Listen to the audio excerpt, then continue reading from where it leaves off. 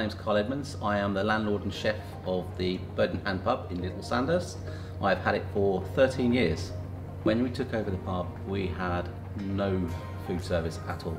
So we gradually built up the food service with uh, our pies, our fish finger sandwiches, our steaks, our, uh, our sandwiches in general. When I first saw the Merrychef, I was playing golf and I actually saw the Merrychef being used for making sandwiches and stuff. For me, it was a case of speeding up our service. To cook a pie in our normal oven took 20 minutes. To cook a pie in the Merrychef oven takes five and a half minutes.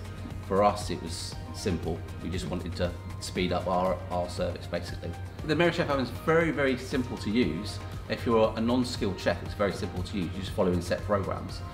You could take the barmaid, take the, take the pie out of the fridge, place the pie in, press the button, she's cooked the pie. It's, it's simple, really. The team in the kitchen love the Merrychef oven. It, they find it so easy to use, and it is it's referred to in the kitchen as the Merry. We say, go and put that in the Merry, speed things up. When we first considered the Merrychef, obviously we need to take into consideration how much the Merrychef oven was going to cost us. The investment was a no-brainer for us. We were generally working out that three or four pies a day would give us a good payback within sort of 80 to 90 days. By cooking food in the Chef, we've actually kept people in the bar for a lot longer.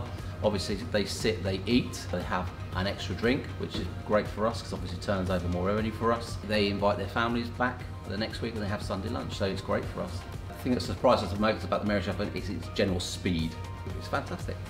It's, it speeds things up so much.